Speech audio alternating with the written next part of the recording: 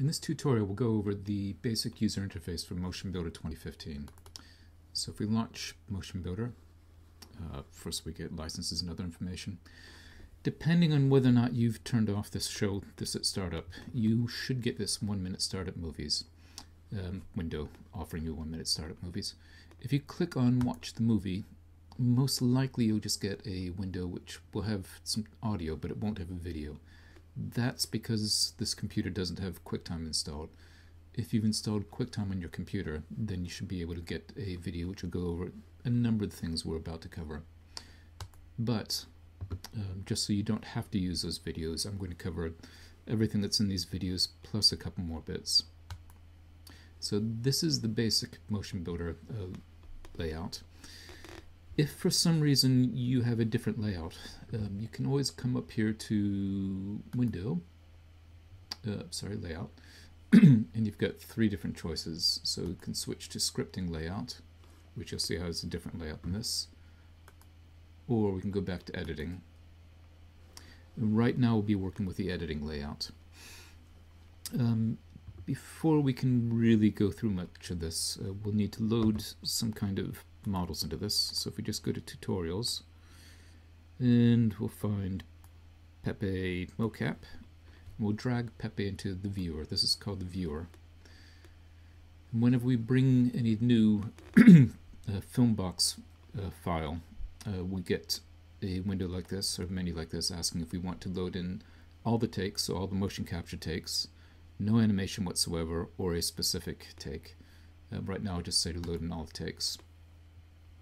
So we see right here we've got um, we've got Pepe and a model, we've got some motion capture data which is driving it. Here's the viewer, which I'll come back to, but just as a quick uh, run around, this is your transport controls, in other words, fast forward, play, etc. So if we hit play, we get the models moving. It'll come to the end of its sequence and stop. We can play them in reverse we can jump to the very first frame, we can jump to the very last frame, and we can also set it to rewind. Uh, sorry, to automatically rewind, uh, basically to loop when it gets to the end. So if we hit play now, it should come to the end of the sequence and loop. We can also change the frame rate that we're running at. Uh, because Motion Builder is built by Autodesk, which is an American company, by default it'll be running at 30 frames per second. We most likely will want to change that to PAL, which is 25 frames per second. Right, now if I just stop him while he's playing, you'll see that um, the viewer, right now we're looking through a producer perspective camera. If we come up here to view, you see we've got a number of different types of cameras. So we've got perspective, but we've also got orthographic. And orthographic allows us to look directly straight on without any perspective distortion. And uh, so we've got orthographic producer right, we've also got orthographic producer top, orthographic producer front, etc., etc. These will help you in lining up things um, later, but for the time being, if we go back to the perspective, we can also use a number of different um, controls. So if we hold down the shift key and hit the left mouse button, you can see we can um, we can pan uh, the viewport around. If we hold down control and hit the left mouse button, we can zoom in and zoom out. And if we hold down shift and hit the right mouse button, actually if we just hit the right mouse button, you don't have to hit shift at all, we rotate around the center. So this is 0, 0. This is the very center of the screen. Oh, actually, no, you do have to hold down Shift.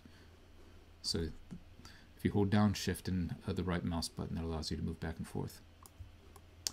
If you can't remember any of these, you can do all the same things through these icons up here. So if I hit left mouse button and hit this left icon, I can rotate around. If I hit the left mouse button and this icon, I can zoom in and zoom out.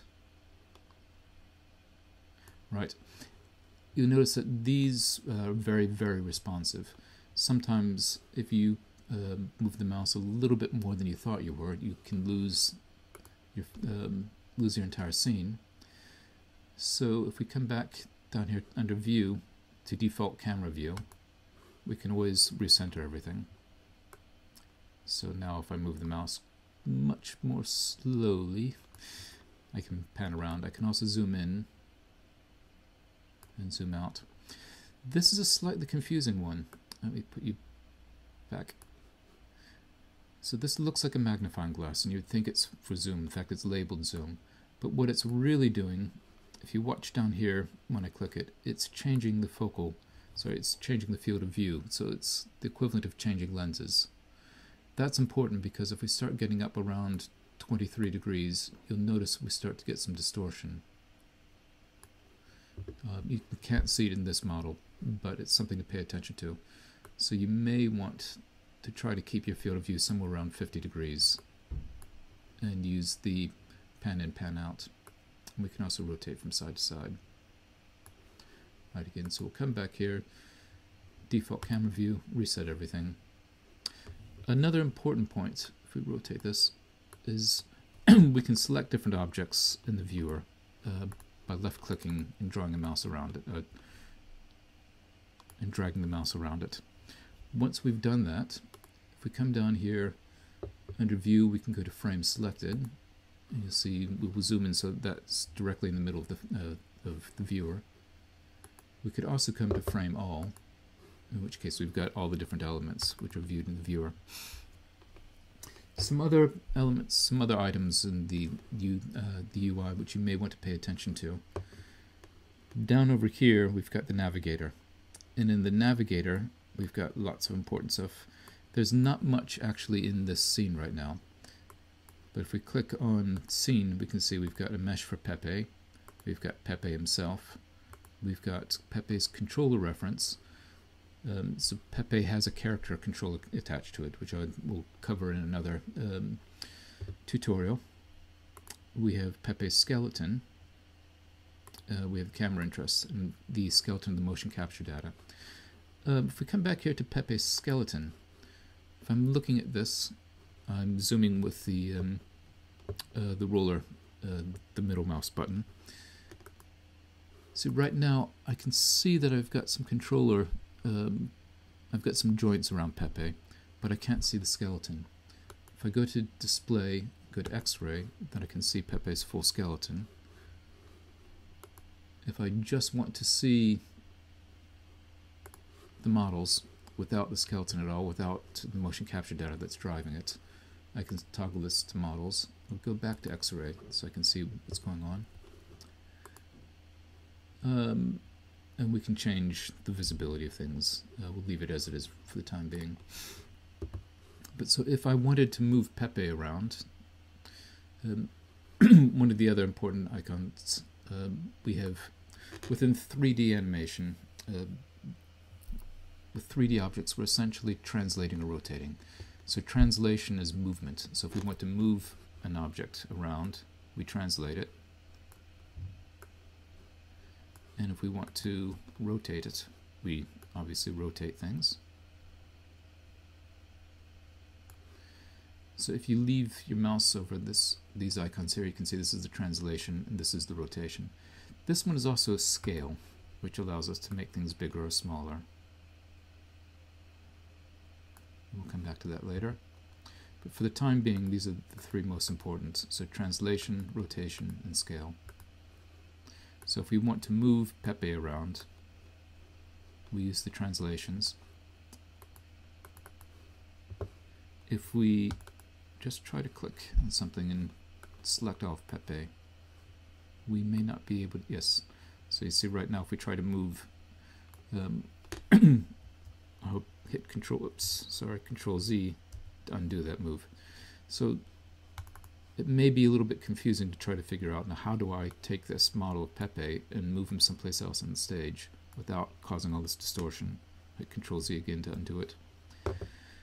To do that, we take Pepe's root, so this area right here, which is um, either his control reference,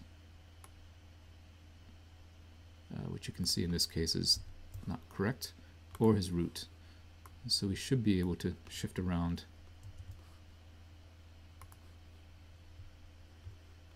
try that again.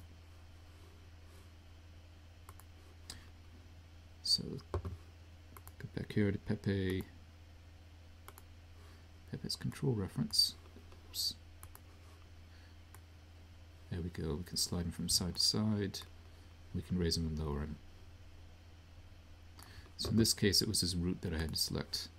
You may find that you have to try these different, um, either the control reference or the root, actually skeleton, uh, sorry, Pepe's control reference. So just try clicking one of these um, scene objects until you get something, until you find the one which is actually controlling his position. Again, because I've raised and lowered him right now, looking in the producer view, it's very hard to see if I put him back down on the ground. But if I come over here to view and change to orthographic, and then say producer right, I can find, zoom in, oops, Right here is 0, 0. You can see that this is a bit lighter than the rest of the lines. So I'm going to take Pepe skeleton root, move it down, and position him directly on the ground. So now when I have him walk, he's walking directly on the ground plane and falling on the ground plane. You'll notice the motion capture data here is scaling differently when I move things around. Um, that's actually the real strength of Motion Builder. motion Builder allows you to take motion capture data and apply it to different models of different sizes and different shapes. So you'll see that Pepe doesn't have exactly the same number of bones, he doesn't have exactly the same number of joints as uh, the model which was used for this motion capture data. Um, you'll also notice that Pepe is approximately half the size of the human being which was captured in this. So Motion Builder is uh, converting all the movement, figuring out how much uh, movement there is between the knees, the ankles, the feet, etc., mapping that onto Pepe's model, Pepe's body, and distorting the motion uh, to allow us to use human motion capture data to drive non-human models or to use motion capture data from people who are slightly taller, slightly shorter, etc., etc. So something to, important to keep, uh, something important to watch is as this person is walking, see how far the original motion capture is traveling versus how far Pepe is traveling. And you can see the scaling which is going on behind the scenes with Motion Builder. Right.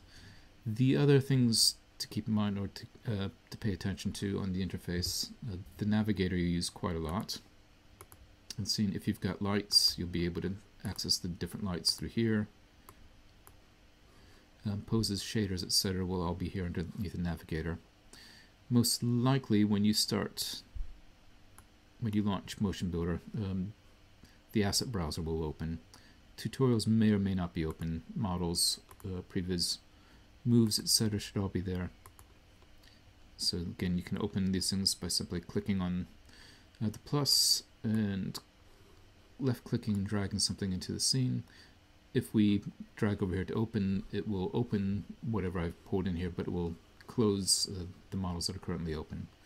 If I go to merge, it will bring them into the model, uh, into the scene together with the existing models. So right now if I just go to open all takes, don't say Pepe, but we've got a batter. And I can go look at him from perspective view.